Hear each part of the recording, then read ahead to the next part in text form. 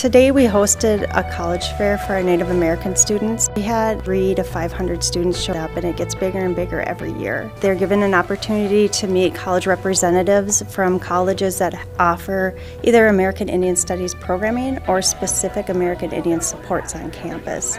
So it's a little bit different than your typical college fair. And you get to actually learn some new stuff from colleges from different states and different things that I'm interested in, like technology or like art, music.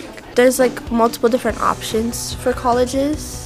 We got a tour on the campus and then a few speakers. We went and checked out like some of the living quarters or dorms. We invite all of our Indian Ed programs from Minnesota to participate in this event. It's nice to see which college you know would like me most. The University of North Dakota. I wanted to go there for about a year now. They told me about a six-week program in the summer. I want to be a nurse practitioner when I'm older, and they have a good nursing program. Kids were able to learn about specific scholarships that are tailored to American Indian students and opportunities available to them.